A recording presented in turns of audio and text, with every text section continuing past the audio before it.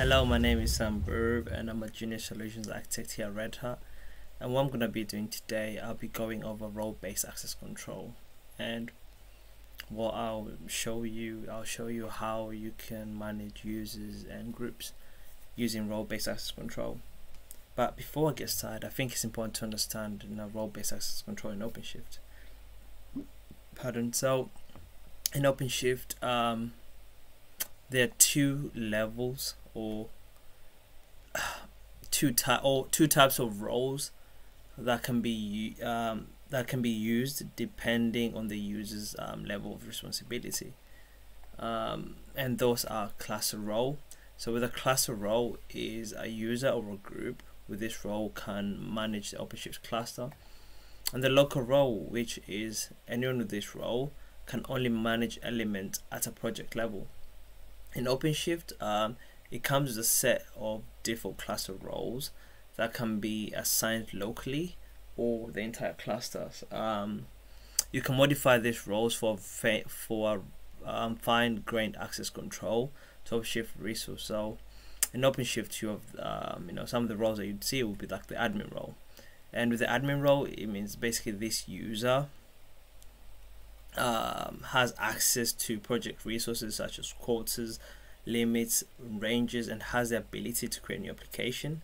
And also, they can manage, you know, not only manage all project resources, but they can grant access to others, um, to other users to access the project.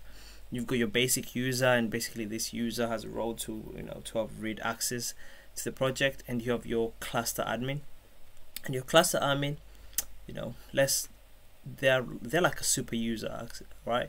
They they can perform um, any action on the cluster and have full control of all the pro projects.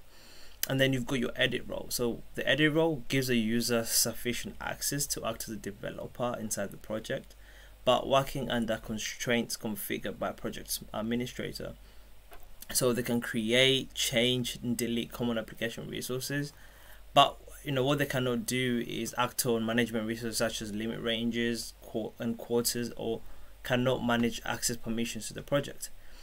And then you've got your self provisioners so with the self provisioners um, basically this is a cluster role not a project role. And with this it just gives um, grants the user access to be able to create new um, new projects. And then you've got your view role. So with the view role is you know users can can view projects but cannot modify project resources. Well know the reasons to have roles is of course is very important right? You might have you know two users. You want one user to be able to um, create new applications and you just want another user to be able just to view and not modify anything. And uh, you know that's that's important in in any any in any workplace that, um, that you're working. You don't want everyone to have full access right?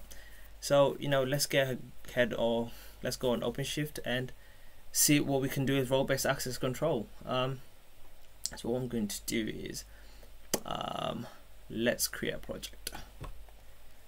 We're gonna call this project test project. Let's see. Right now that we've created test project, as you can see in test project, there is no um, now there's some role bindings, but you don't have um, you know certain users to it. So we have we have two users. We've got user demo um, user demo 36 and demo user 40. And what we're gonna do is we're gonna give demo user 36 the we're gonna give demo that user 36 the edit role and we're gonna give demo um, user 40 the um, the view role and then what we're gonna do we're gonna create application and we'll be able to see how view and edit works. So let's go and demo user 40, role bindings. Let's create a binding. And as you can see, you've got two, um, two types of bindings, right? You've got your cluster role and your local role. You know, with the namespace in role, it just grants the permission to a user within that selected namespace. Or if you want, you can give grant access um, to the whole class and all, uh, in, in all namespaces. So the role binding name will be um, is this is this this is the 36 will be edit. Let's namespace. Let's do test project. Role edit.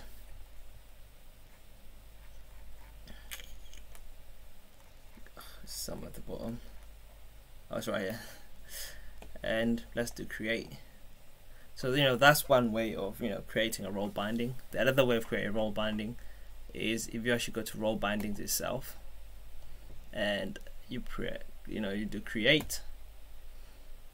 And um, you know as I was already in you know um, test projects it, um, I mean you know I can be able to create there. I don't need to choose whether it's um, whether it's a local or the cluster. So this um, role binding name will be view. Role name view view view view user demo user 40 so you know when I was in users um, in the user tab right out I didn't need to put in the subject name. But since I'm in the role bindings tab you know you have to kind of specify what user using. So that's demo user 40 now that's created. What we can see right now is if I clicked on here you're able to see you know demo user 36 has edit role and demo user 40 has the view role. So now let's go and create an application. Um, let's first log in. Let's get this API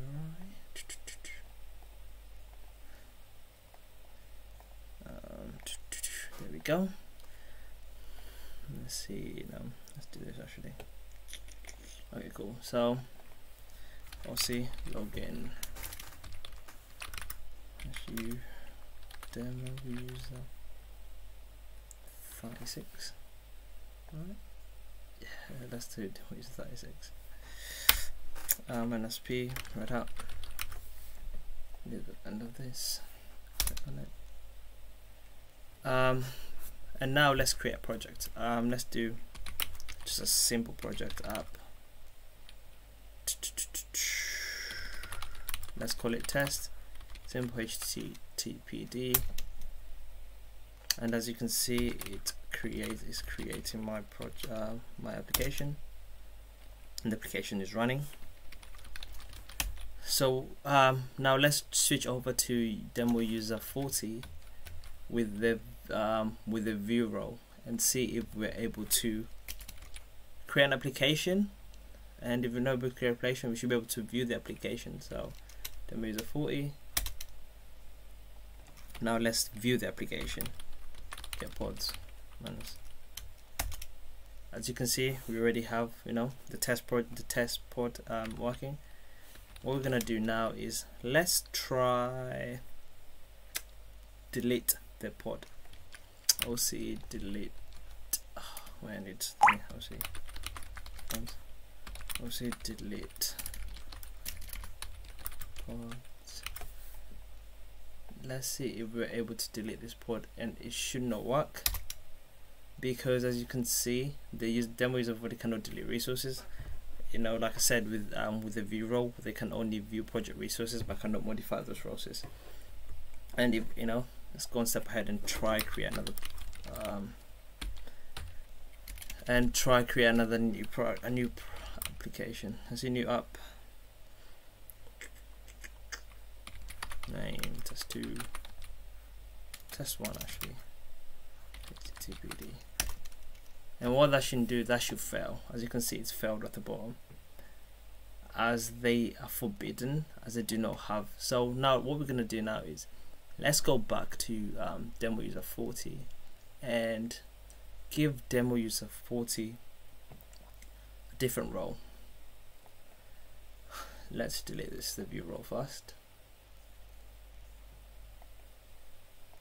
and let's give um, let's give him um, the view um, let's give what should I give should I give him a super access role the you know cluster admin or should we just be able to let's just do it let's give him the edit why not you know we're gonna be able to see. Edit namespace is test project. Select role edit edit. Create. And now let's go back to let's see yep. Let's go back to a terminal. And let's now delete the pod. Let's clear this.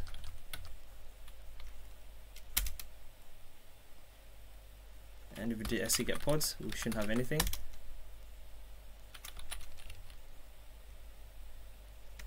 so yes as you can see we, we was able to delete the pod and okay also get pods. Here we go. Boom. Copy. We'll see delete pods. Well no you know no shift when you delete pod it redefines itself so boom as you can see you're able you know with demo user 40 I believe you can be able to um, delete the pod as well. So now that I've showed you how to um, um, delete um, you know just to manage um, users using um, you know with um, with roles. Now let's go take it one step forward um, further and let's you know let's do groups. Now before we do that let's you know as a as the use demo user 40 has um, the edit role. Let's see if we can you know we should be let's change it to um, let's be able to maybe let's try see if we can what can we do? Let's see if we can um, you know change some access permissions to the project right? So if I or you know let's just you know try to change something. Or let's say delete a project for instance as it will say delete project.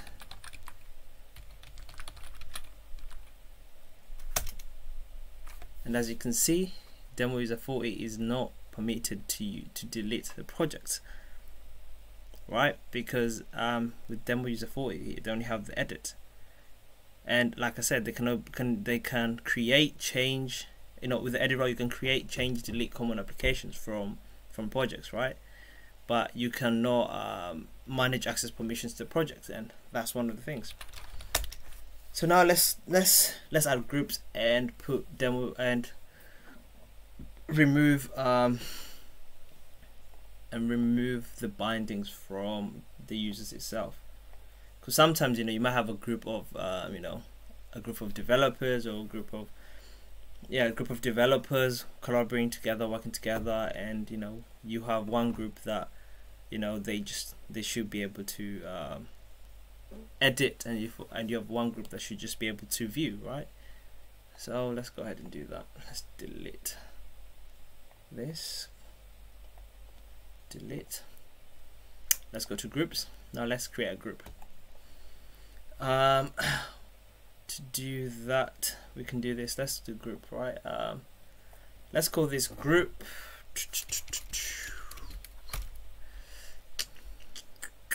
uh, let's call this group um, group one.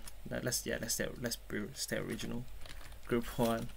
And we're gonna use we're gonna leave demo user one in this group. Demo user 36 so um, group one has demo user 36 and group one does have has no role bindings. Um, now let's get a second group. Group two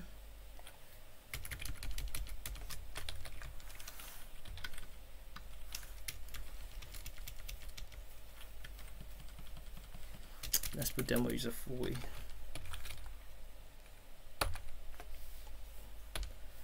demo user 40 and evars let me and as you can see has no but so let's log in into um, let's log in as an admin and you can be able to see the groups. Let's do oc get groups and as you can see group 1 has demo user 36 and group 2 has demo user 30 um, 40 so what I'm gonna do now in group 1 we're gonna give group 1 let's let's make this our developer um, group right? Let's create a binding. And with this we're gonna create a cluster wide role. Or should we do that? Yeah no let's create a cluster wide role. And we're gonna call this role so you know with a cluster wide role you can be able to manage you know you can be able to do pretty much quite a, quite a bit you know with, within the class level and all namespaces? And let's give um, the edit role. Just because why not? Yeah or should I give it a cluster um should I give it admin role. Just basic user. Well we want uh yeah let's give it a let's just give it an edit role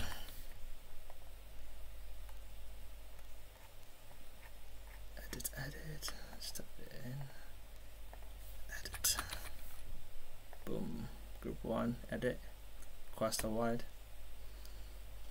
And then let's go back to um, groups. Group 2 we'll just give this the basic basic um, you know. And to make it fair let's just give it you know class or role binding as well. Um, and we're gonna give this um, role uh, let's do view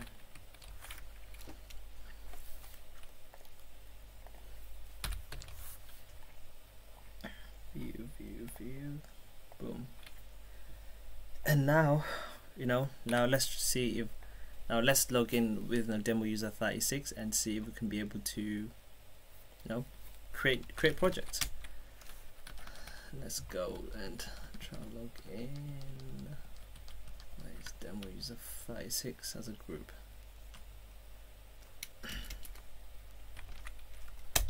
Now, demo user 36 is in um, group group one and that's a developer. So we can be able to create um, you know applications. You can be able to do anything. It's within the whole cluster. Alright OC create. New. Oh see new app sorry. I say new app name. Test 2 another simple httpd and as you can see with um, you know demo 36 is able to create um, a, new application just because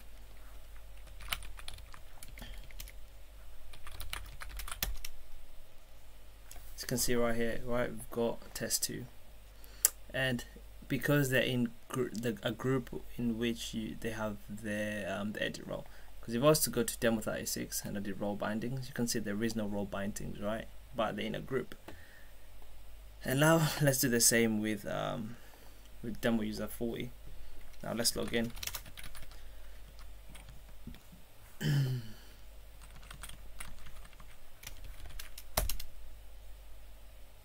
And let's do the same. I'll see. Get pods. Able to do that so you can do see that?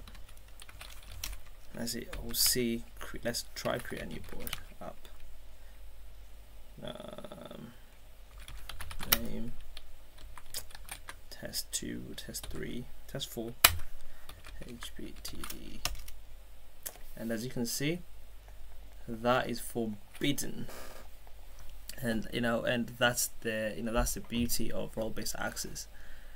You can you can have um, developers or you can have you can have you know project administrators just you know working together in a group collaborating and you can um, put them you know in groups and you know and the group has a specific access to you know certain projects um, and you can like I said earlier you can you know you can modify these roles for fine-grained access control you know to OpenShift resources. And in a nutshell that is role-based access control. So if you have any questions please leave a message. And you know we'll get back to you and you know keep sharing this video and and you know please watch out for more videos. Bye